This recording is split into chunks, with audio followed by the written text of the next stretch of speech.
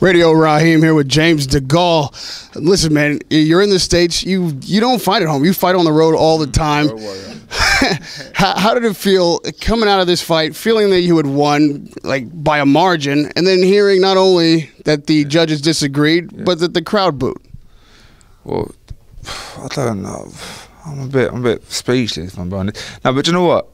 Porky Medina showed me that he's a tough, strong fighter. But I battered him. Oh, I was, getting hit with screw shots to the chin, uppercuts to the chin. Mate, I'm not, not having that.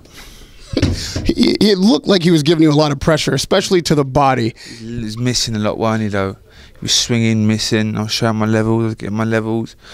I was lazy in there, laying on the ropes. Let's make it entertaining for the fans, but I shouldn't really do that. Paul Kim, someone of Porky Medina's caliber shouldn't be going 12 rounds with me. But listen, it's still a learning thing for me. I've only had 23 fights, 24 fights, and I'm still learning. I'm still uh, improving, and uh, yeah, don't worry, I'm gonna get better. You see Badou Jack in there right next to you. He got a draw. Do you feel like you say that you're still learning? You feel like you're ready for that fight, and can you outclass him? What What are your strengths against? Him? I think I'll be too good for Badou Jack. My task would be to win every round against him and not and not and not drop around. I think uh, once again he's a good fighter. I think he's come on as a world champion. He's improved as a world champion, but uh, I think once again I'm too much him. But he's a good fighter. Be compared.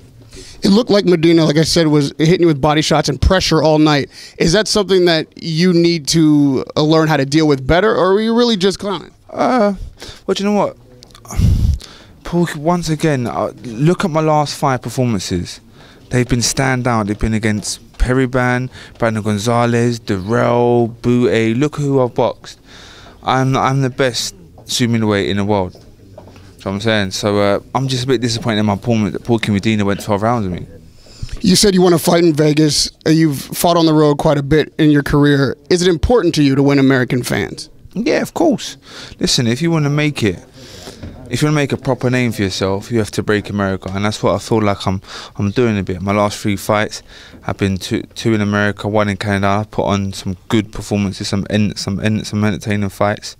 Uh, so yeah, I hope I'm winning some fans in America. Yeah, I hope I'm building a good fan, uh, good fan base over here. So before I let you go, to those fans who were booing, who maybe didn't appreciate your performance tonight, do you have any words for them? Make sure you watch me again. I'll be nice.